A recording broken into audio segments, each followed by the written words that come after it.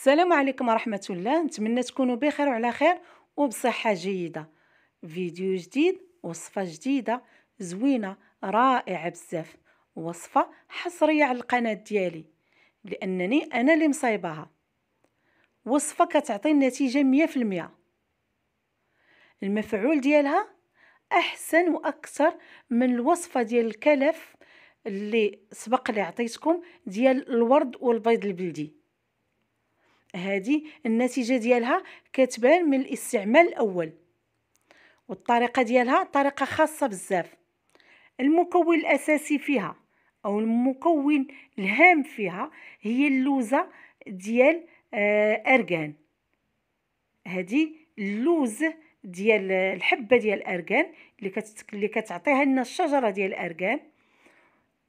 اللي هي هذه هذه هي اللوزة هذه هي الحبة ديالها. فاش كنهرسوها كنصيبوا فيها اللوزة اللي وريتكم.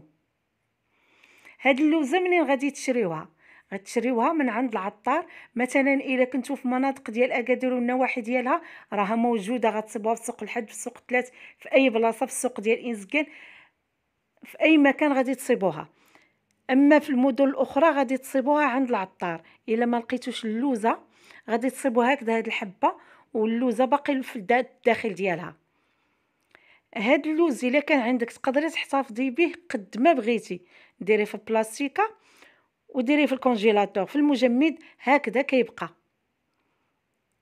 والحبة الأخرى اللي كتكون باقا ما مهرساش غتقدري تحتفظي بها كيف ما هي. يعني ما غادي هكذاك بلا ما ديرها لا في مجمد لا في والو ديرها في أي بلاصة غتبتا تبقى بحال هكذاك مزيانة. الطريقة باش نديرو هاد الوصفة طريقة جد سهلة ولكن ضروري من هاد اللوزة ديال الاركان البنات غير جربوا هادي. جربوا هاد الوصفة راها رائعة بزاف. أنا هنا خديت ملعقة فقط ديال اللوز ديال الاركان وضفت عليه تقريبا كأس قل واحد شوية بقياس العنبة ديال الماء عادي بارد. وغادي نخليها تبات ليلة كاملة. غادي نغطيها ونخليها هكذا تبات ليلة كاملة. ضروري من أنها تبات ليلة كاملة. حتى كترطاب ديك اللوزة ديالها. أنا عندي وحدة أخرى فات لي موجداها باتت ليلة كاملة. ديك اللوزة كتشرب شوية ديال الماء. راه شفتوا داك الماء راه نقص. وكترطاب وكتطلق لينا واحد اللون. شفتوا اللون كيفاش طالقة؟ ما كيبقاش الماء أبيض. وهي كتولي بيضاء كترطاب كتنفخ حتى ديك اللوزة كتنفخ. شو اللون ديالها؟ بحال البني بحال إذا دوك المكونات ديالها كيطلقوا في داك الماء. حنا ما غاديش نصفيوها غنستافدوا من داك الماء وغادي نخوضوا هاد اللوز ديال الاركان بالماء ديالو غادي نطحنوه. مكونات ساهلين والطريقة سهلة ولكن النتيجة جد رائعة. البنات جربوها جربوها آه، يعني مرة واحدة. ديريها نهار واحد النهار الأول وجربيها النهار الأول فقط وشوفي النتيجة اللي غادا تعطيك. من بعد كنطحنها نطحنها بحال هكذا مزيان. ضروري ما طحنيها مزيان لأننا ما غنصفيوها ما والو. بغينا حنا دوك المكونات ديالها كاملين. إلا كانت الماكينة ديالك أو الطحانة ديالك ما كطحنش مزيان أعطيها الوقت أكثر. شوفوا كيفاش كتجي. كتجي بحال الشكل ديال كتولي ثقيلة. بحال خامرة. فاش كتهز بحال هكذا بالأصبع ديالك كتشوفي دوك الفقاعات ديال الهواء بحال خامر. هاد الكمية اللي هي ملعقة واحدة ديال اللوز ما غاديش نديرها كاملة. درتها مع كاس ديال الماء باتت الليل كامل غادي ناخذ منها ثلاثة ديال الملاعق كبار فقط. غادي نضيف عليها الحليب باودر أو الحليب غبرة. أنا كما كتعرفوا كيف ما معوداكم دائما كندير هذا Aptamil ولا أي نوع إلا كان عندك رضيع في الدر آه، شي بنية ولا دريري صغيور كترضعيه في الدار هذا الحليب ديري أي نوع ديال الحليب. ديال الرضاعة أي نوع. كتشري من la pharmacie إلا ما كانش عندك ما يمكنش غتشري الحليب هكذا باش ديري هاد الوصفة. لا أنا هنا ضفت جوج ديال الملاعق صغار ديال الحليب ديال الرضع اذا غادي تشري واحد ال sachet صغيرة ديال الحليب غبرة اللي كنشربو. اللي كيتشرب كيتباع في في الحانوت في الدكان راه كدير تقريبا جوج دراهم ولا ثلاثة دراهم وغادي ديري منها جوج ديال الملاعق صغار فقط وغتخلطي. المكون الثالث اللي غادي نضيفو هو المايزينا المايزينا ولا النشا.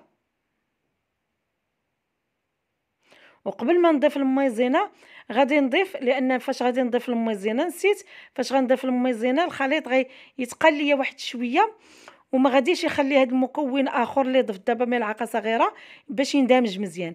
هذا المكون اللي ضفت كيف ما شفتوا أنا عندي غير قليل مخليها في واحد البلاستيكة صغيرة هو الحمص اللي هو قطاني مطحون مزيان ومغربل. لازم يكون نيل. لأن الحمص تيبقى تيبقى تتبقى فيه واحد النخالة. اذا ضروري ما غادي نغربلوه أنا درت هنا ملعقة صغيرة ولكن ما غاديش نحتاج شي كمية كثيرة. غير داك الشويه اللي عندي خديت منه ملعقة صغيرة وباقي غادي يبقى لي منه. غادي نخلط مزيان هكذا. من بعد دابا هي اللي غادي نزيد أو نضيف المايزينا ولا النشا ضروري نرتبو هكذا نخليو النشا هو الآخر لأن النشا كيتقل لنا الخليط وإلا تقلو ما غاديش يخلي المكونات الأخرى تندمج مزيان. من بعد ضفت ملعقة مملوءة كيف ما شفتوا ملعقة صغيرة ولكن راها مملوءة. تقريبا إلا كانت ملعقة إلا كانت ملعقة ماشي مملوءة ندير ملعقة ونصف. إلا إلا درتها مسطحة ندير ملعقة ونصف. أنا درت ملعقة مملوءة. هرمية. صافي وغادي نخلط مزيان. هادو هما النواشف اللي غادي اللي غادي ندير في هذه الوصفة. ولكن تيقوني البنات راها وصفة رائعة.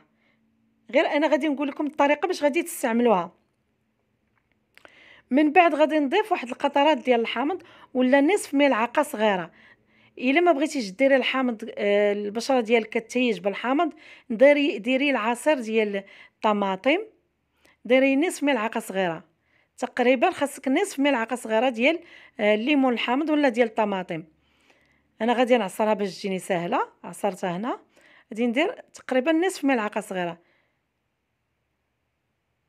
ماشي كتير؟ أنا بالنسبة ليا آه البشرة ديالي عادية ورغم ذلك الليمون الحامض ما كيدير لا تهيج لا والو. كيوافق لي البشرة ديالي كيصفيها. ضفت نصف ملعقة صغيرة ديال عصير الليمون الحامض.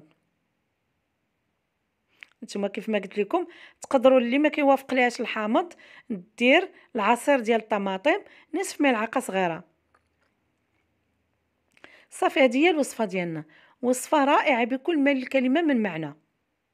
وكيف ما قلت لكم هذه الوصفة ما غتصيبوهاش آه في أي قناة من القنوات. ما كايناش في اليوتيوب. آه وإلا بغيتو تاكدوا ديروا مثلا دخلي اليوتيوب وكتبي آه، ارغان مثلا لوزة ارغان وتصفية البشرة. ولا لوزة ارغان ماشي الزيت الزيت راه كاين. آه، ديروا لوزة ارغان وتصفية البشرة ولا توحيد اللون ولا الكلف وشوفوا واش غتصيبوها ولا لا. آه هاد المكون الأول اللي بقى لي ديال اللوز ديال الارغان مطحون في الماء ما غاديش نرميه.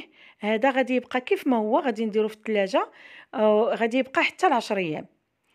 نتوما فاش غديروا هاد الوصفة راه غادا تعجبكم بزاف بزاف وغترجعوا تزيدوا شوية الحليب وشوية النشا وشوية الحامض في الوصفة الأخرى.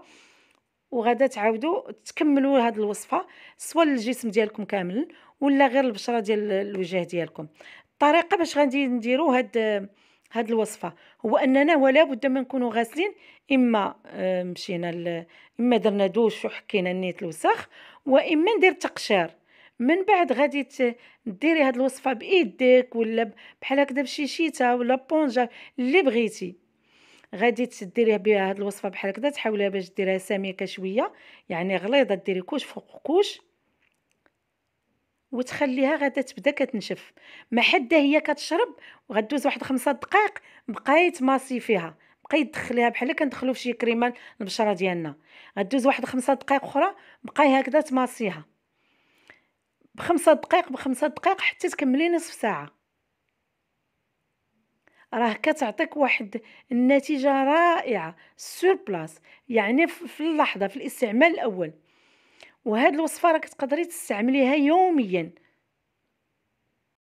هي من الاستعمال الأول كتبان لك النتيجة. الشيء اللي غادي يشجعك باش انك تبقاي تستعمليها المكونات ديالها ساهلين فاش غتشريهم في المرة الأولى. إلا ما كانوش عندك غيبقاو عندك في الدار اذا غتقدري تستعمليها يوم على يوم على يوم. راه النتيجة ديالها رائعة قد ما استعملتيها قد ما غتشجعي باش تعاوديها. تقدري ديريها في أي منطقة في الجسم ديالك. والجميل أنها كتحيد حتى داك ديك الدكونية اللي كتكون دايرة بالفم كتحيد الهالات السوداء. تقدري ديريها فوق العين وتحت العين ما خفتي والو غير ما تدخليهاش لعينك.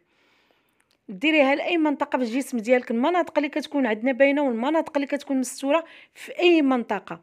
النتيجة ديالها رائعة 100% البنات بغيتكم ديروا هاد الوصفة بالضبط. ديروها وديروها بالطريقة اللي قلت لكم أنا. كتمصي من بعد خمسة دقائق خمسة دقائق كتبقاي تمصي فيها وغادي تشوفوا النتيجة ديالها غادا تكون رائعة. بغيتكم ديروها وترجعوا لي في التعاليق وتقولوا لي واش عجباتكم ولا لا. نتمنى أنها إلا درتوها وعجباتكم ديروا لي لايك وتشجعوني باش نزيد في هذه القناة. والسلام عليكم ورحمة الله تعالى وبركاته.